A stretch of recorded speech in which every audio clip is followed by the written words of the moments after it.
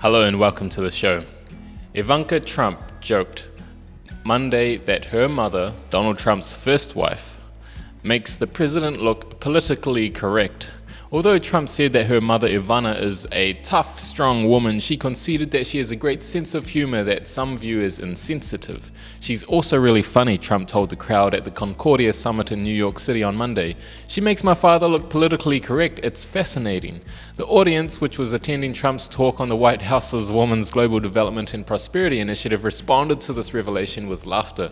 All my friends would love to hear what my mum had to say on every topic, Trump reminisced.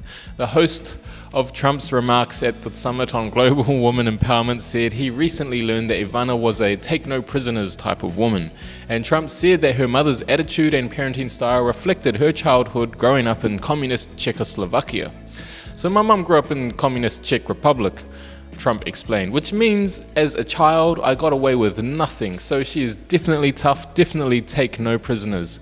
While talking about women reaching their full potential, Ivanka talked a bit about some countries that don't have a level playing field for men and women in the workforce.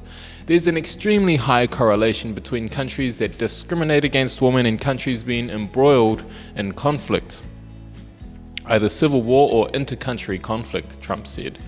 She added that the WGDP initiative hopes to uplift 50 million women by 2025 by getting more into the workforce through education and job training, helping women with entrepreneurship and entertaining oh, and earning credit to open their own businesses and changing laws that prohibit women from full and free economic participation.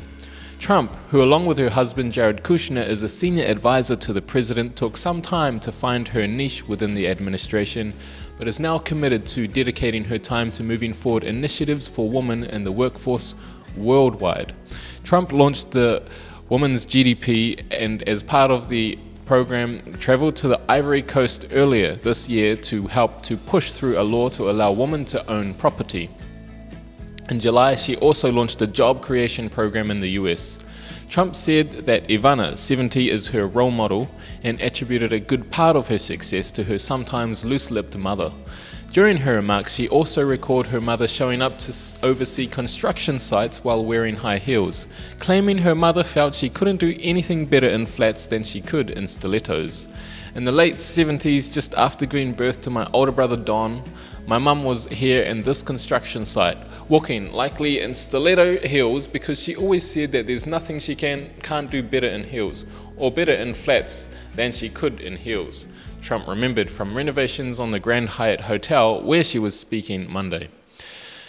And she was really helping oversee the execution of construction of this very building Trump, who is also rarely seen in any footwear besides stilettos, continued. So, she's a force. She is a force. She believes in hard work, no cutting corners. She's really funny, like really funny. Ivana married Donald Trump in 1977 and had three children Donald Trump Jr., Ivanka, and Eric Trump. Then businessman Trump began an affair with model Marla Maples in 1989. Ivana and Trump got divorced in 1992 after an ugly public battle between Ivana and Marla, 15 years her junior. The Concordia Summit, a non-partisan forum, is taking place September 22nd to 24th. At the same time, a few blocks away, the 74th Annual United Nations General Assembly kicked off, where President Trump is participating in several bilateral meetings with leaders of foreign nations. Thank you.